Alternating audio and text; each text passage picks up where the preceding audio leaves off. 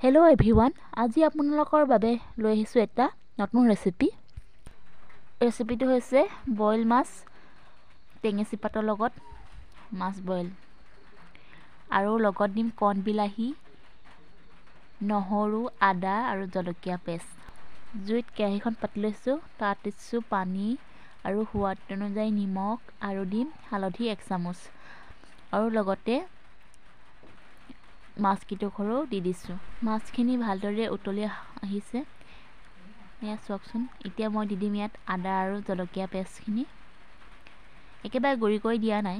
এয়া শাকখন ভালদৰে উতল আহিছে। এতিয়া মই ইয়াত দি দিম কণ বিলাহীকেইটা আৰু দি দিম কাটি থৈ দিয়া টেঙেচি পাতখিনি দি দিছোঁ। এইখিনি উতলি অহালৈকে অলপ সময় থৈ দিম আৰু দি দিছোঁ লগতে নহৰু আৰু ধনিয়া পাত।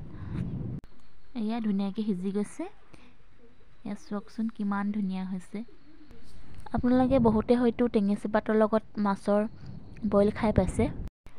আৰু বহুতে খাই নাপাবও পাৰে। যিসকলে টেঙেচি পাতৰ লগত মাছৰ বইল খাই পোৱা নাই সেই তেওঁলোকৰ বাবে এই ৰেচিপিটো উপযোগী হ'ব বুলি ভাবোঁ।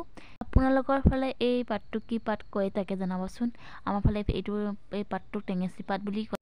আজি ভিডিঅ'টো ইমানেই। ভিডিঅ'টো যদি চাই ভাল পালে লাইক কৰিব কমেণ্ট কৰিব শ্বেয়াৰ কৰিব। আৰু ছাবস্ক্ৰাইব কৰিবলৈ একেবাৰে নাপাহৰিব। যিসকলে মোৰ চেনেলটো নতুনকৈ চাইছে প্লিজ ছাবস্ক্ৰাইব কৰি দিব আৰু কাষতে থকা বেল আইকন বটনটো টিপি দিব। তেতিয়া মই দিয়া প্ৰত্যেকটোৰ ভিডিঅ' আপডেট আগতীয়াকৈ পাব। আপোনালোকে মোৰ চেনেলটো মৰম চেনেল দিব বুলি আশা থাকিল। তাৰে কামনাৰে আজিলৈ আহোঁ। Bye bye